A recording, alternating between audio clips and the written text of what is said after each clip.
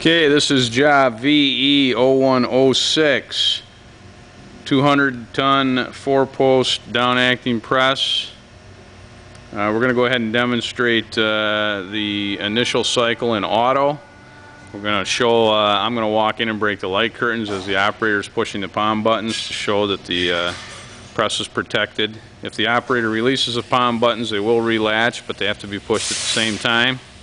Press also incorporates a hard metal guarding on the other three sides bolted on and uh, has emergency stop button on the main panel. An OK to release light once the press clamps up.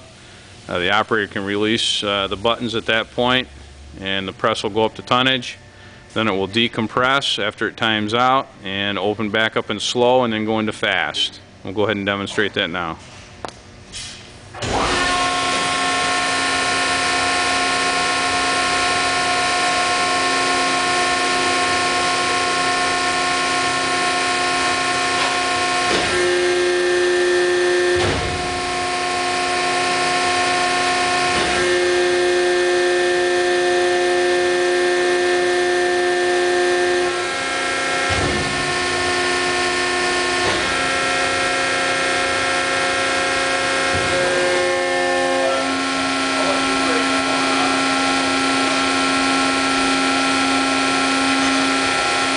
Okay, press is under tonnage now. There's decompression. We'll get slow open.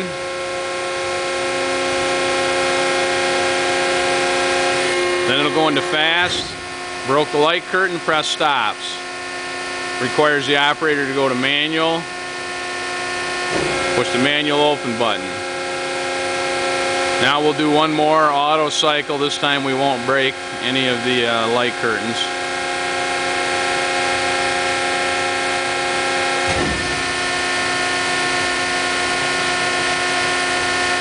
We'll just run a normal cycle, fast close.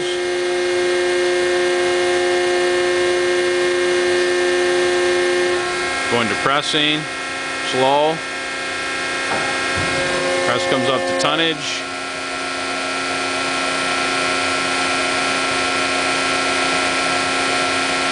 Time roll time out. Press decompresses. Opens in slow until it comes off the slow down switch, then goes into fast. Okay, we're going to demonstrate a manual cycle now. In manual, the press will not build more than 50 tons. Uh, the light curtains are in effect in manual. I'll demonstrate that.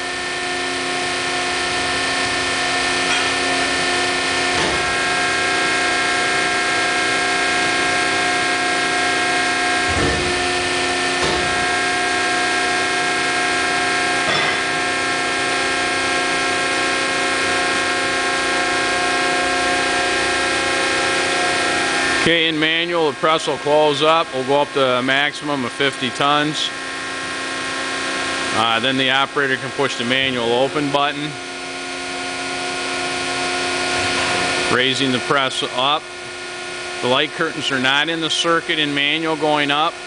Is to allow you to always be able to raise the press even if there's an obstruction.